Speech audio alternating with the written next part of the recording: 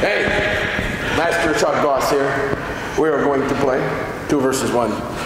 You know, last video we did, uh, don't know, a week ago. What did we do? Oh, Abanico Corto. So we'll play two versus one. We'll do the same thing. I'll show you how to play each side, and then you'll practice. So then you have it, and then you break it back down to one stick. The more you do it with both, the faster you learn it. Remember, Abanico Corto is fundamentally two cuts. Later on, as you get advanced, you can make it one and a strike, but fundamentally it's two cuts. Okay? So you play your Sinawali with thrusting, you know, one, two against one. So you play.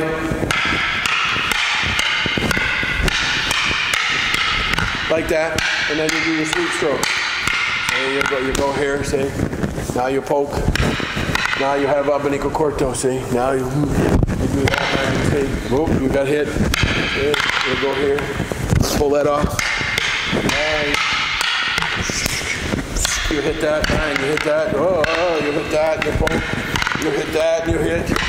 You go inside, oh, you hit again. See, you'll play this again, you go here. See, back, see? Here, here, now here. One, two, bellies, bellies, boom, and you have the trap. There's all kinds of stuff in there. Let's change sides. You know, you have to just play. You do both sides though. You go here, bang. See, there's one, two. See, or you go here. Now you come in one, two. See, or you come in one, two. See, now you thrust. You can play this all day long now. You play. You can add that. You can go this way. See, and then poke. Say bang. You hit that one, two, three. Big wheel. Break out. Say your pass. Thrust. Oh. Abanico corto. Boom.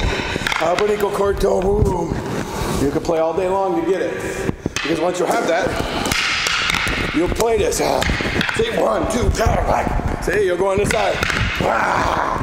You'll have. Very explosive. Last week I showed you left hand.